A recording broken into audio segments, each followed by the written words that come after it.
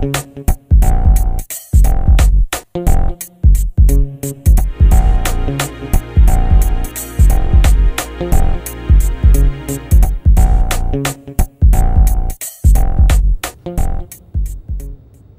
I hope you've had a chance to uh, think about this a little bit, um, understand the algorithm of what we're trying to do here. We've got a simple traffic light system, north-south direction for the traffic, a pedestrian crossing. Okay, and this is our basic algorithm.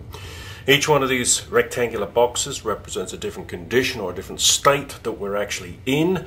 So for example, if we're in the north-south green wait state, uh, the traffic is going, the people are stopped. If nobody presses the switch, we will stay in that condition. Okay, somebody presses the switch, then we'll move to the next condition. We'll change the lights, north-south yellow and wait.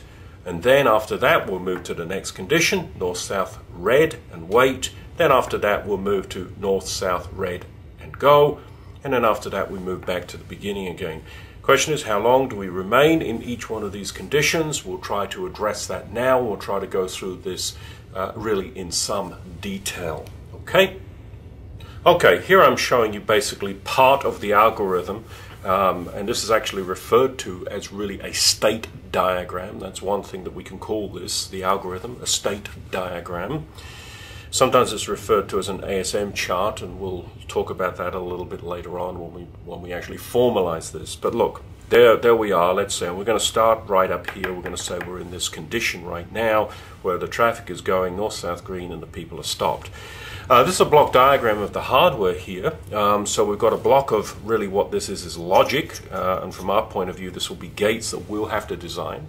We've got inputs to this logic. Okay, our inputs to the logic will be the switch input. We've got A input, B input, which indicates the state that we are currently in. And the outputs we've got are the traffic lights, and of course the lights for the pedestrians and we've got two special outputs here which are really our next state outputs. So let me try to take you through this okay? Now let's imagine okay that we are currently in this particular state right here. So what does that mean? Well it really means that basically this A is a zero and really this B is a zero. So A and B are really zero zero. So we have a zero and a zero sitting here. Let's imagine that the switch also is sitting at a zero.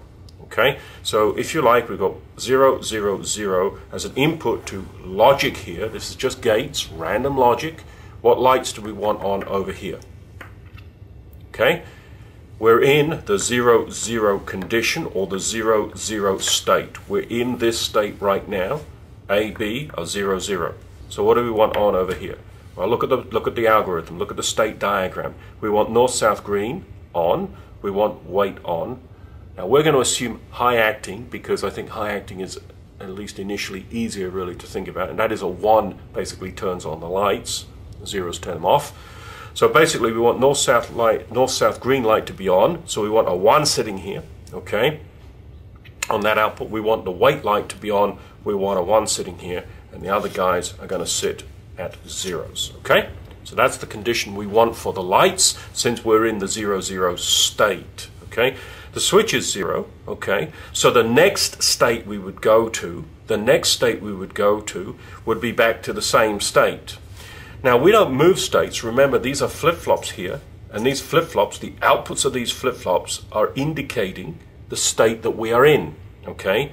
These outputs don't change until what? This is the clock input, clock input on each of those flip-flops. Now I won't necessarily put that on the diagram here because it's going to clutter the diagram.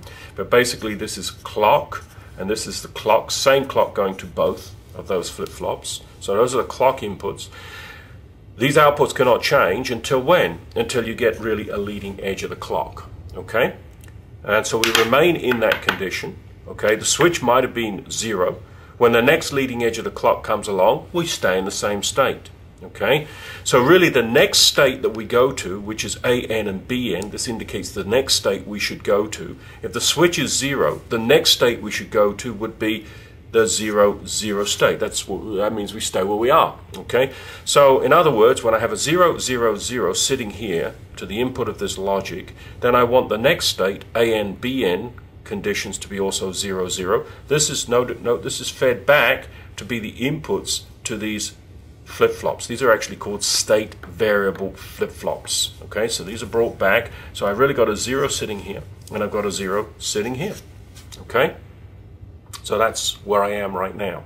When the clock comes along, leading edge, these zeros become the new AB values. Means I stay where I am. Okay, I haven't moved out of that state. All right. Okay, let's continue this. Imagine that we're still in this 0, 0 state here. So A is 0, B is 0. The lights we want on again are whatever is in this state box, right? So we want the green light on, okay, and we want the white light on, and we want the others off. So there they are off. Why is that the case? Because this is the state we're in, defined by the AB values. Here's A and B. We're in the 0, 0 state at the moment. Now let's imagine that somebody wants to cross the road, and so they press the switch, and we'll now say we've got a 1 for the switch. Okay, a 1 for the switch.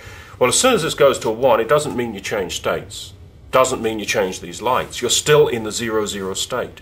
But the 1 sitting there means that the next state you would go to the next state you would go to when you get the next leading edge of the clock, remember this is clock here and here. So when you get the next leading edge of the clock, if you're in this state and the switch is 1, when the leading edge of the clock comes along, you move to this state right here. Okay?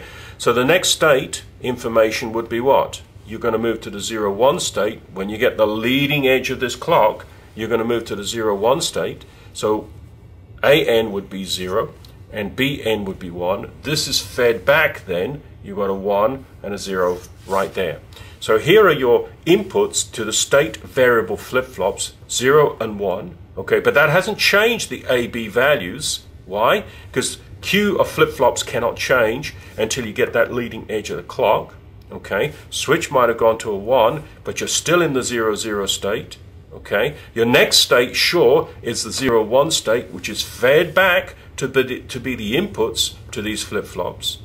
But when you get the clock, then these inputs, 0, 1, becomes the new A, B value. But you have to wait until you get the clock. So we don't come out of this state until we get the leading edge of the clock. And that is true when S is 1. Okay, so when S is 1, we come out of this state into this state when we get that leading edge of the clock and we get a new AB value, a new state that we would currently be in. Okay, so we'll reflect that condition.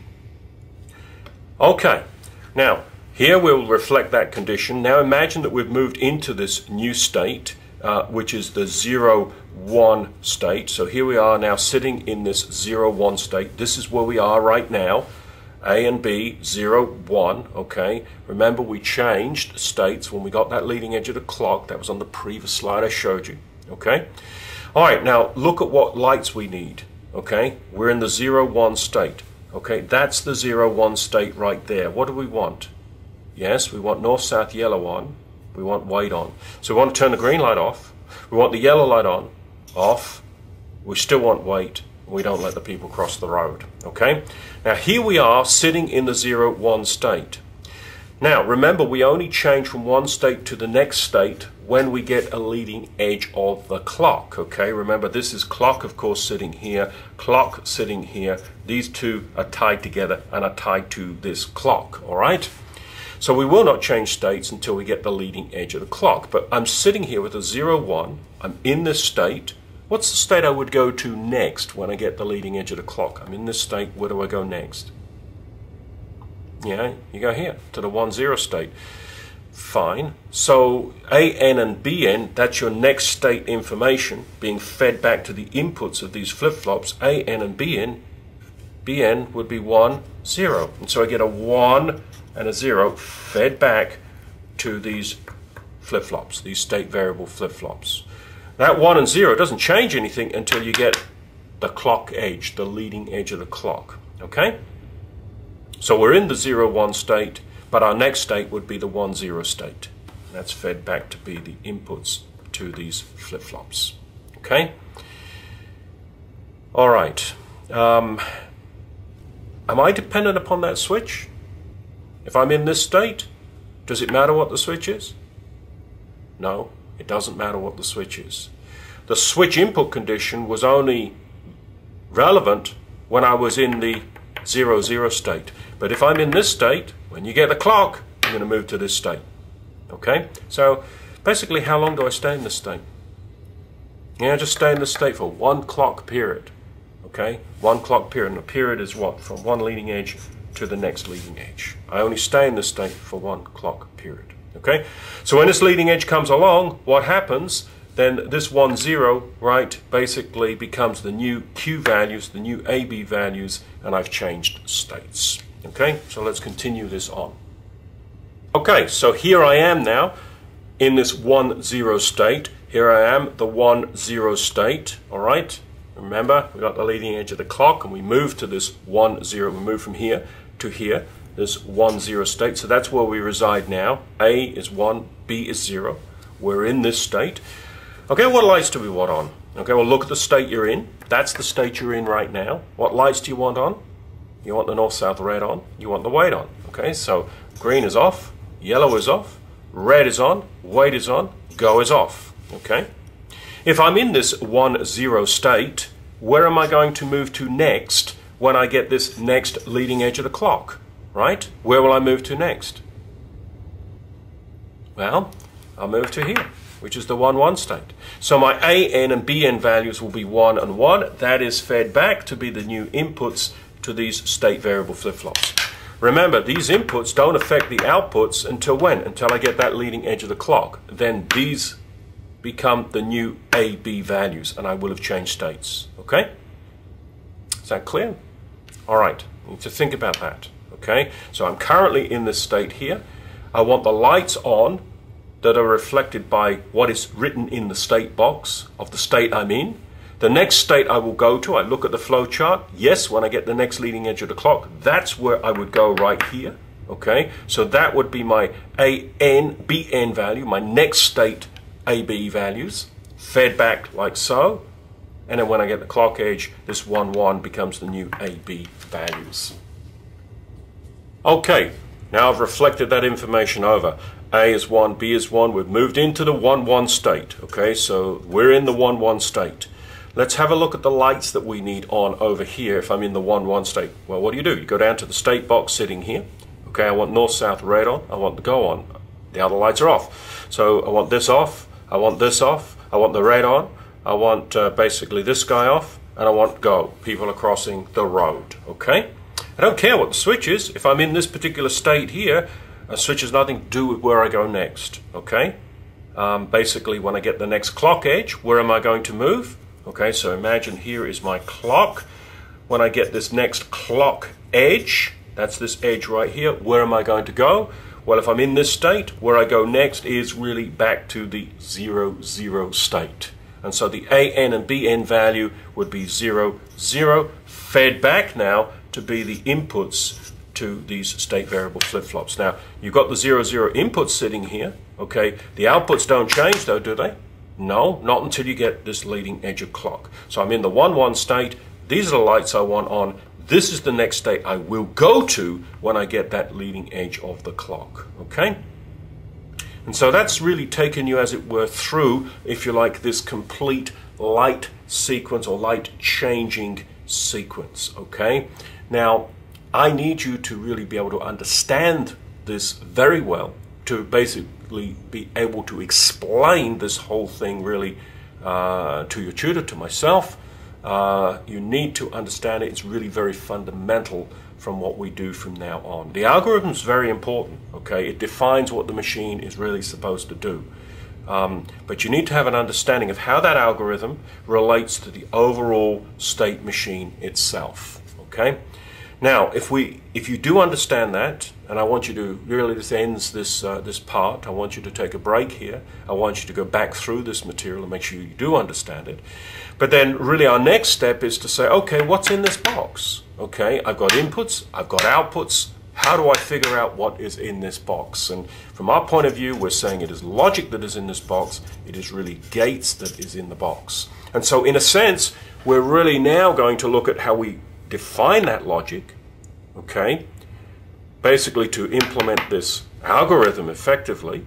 Um, and here we're back to a consideration of really nothing more than a truth table, inputs, outputs, okay? And that's what we'll do next. So we'll take a break here.